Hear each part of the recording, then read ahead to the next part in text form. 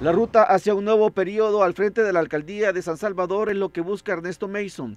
Dice que su trabajo no ha sido detrás de un escritorio. Al contrario, ha acompañado a los capitalinos en los momentos más duros de la pandemia de la COVID-19 y la tormenta tropical Amanda.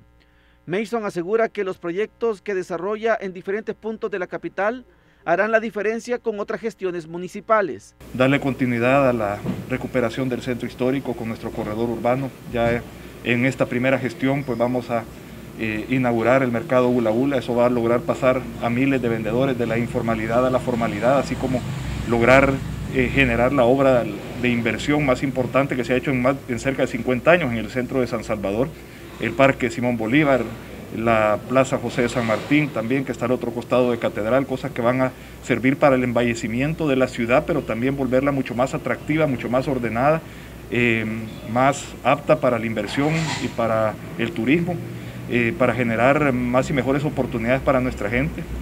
Hemos continuado con nuestra formación laboral a través del Instituto Municipal de la Juventud y el Centro de Formación Laboral, donde hemos eh, prácticamente cuadruplicado el tema de, de, becas, el tema de capacitaciones y formación especialmente orientada hacia los jóvenes, hacia las mujeres también a través de la Secretaría de la Mujer y la Familia, en fin, vamos a continuar con todo esto, el, ordenamiento del centro de San Salvador en conjunto con los vendedores por la vía del consenso, no por la vía de la fuerza, no por la vía de la imposición, es otro tema eh, clave. Con relación al desembolso del FODES, espera que la Asamblea Legislativa se ponga de acuerdo para la aprobación del préstamo que tiene los fondos para las municipalidades. Porque a quien están afectando no es a los alcaldes, no es a mí, eh, a quien están afectando es a la población.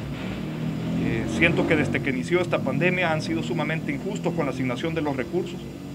San Salvador, que es el municipio más golpeado, ha sido un municipio que le han dado, le han asignado solamente el 1.47% de los recursos de las alcaldías. Es alguna asignación sumamente injusta. No nos han dado un refuerzo presupuestario también para San Salvador. Ahora nos deben adicionalmente tres meses de FODE. Adicionalmente tenemos el acoso y el hostigamiento de algunos funcionarios públicos usando entidades estatales en fin, eh, esperamos que se pongan de acuerdo, que, que pongan por delante a la gente, que pongan por delante al país y que dejen de lado, por un momento aunque sea, los intereses políticos y los intereses electorales. Ya son tres meses que el gobierno no deposita los fondos para que las alcaldías puedan hacer uso de los recursos que les ayuden a superar la crisis económica que ha dejado la COVID-19 en la recaudación de las tasas e impuestos municipales. Gerardo Hurtado, Mega Noticias 19.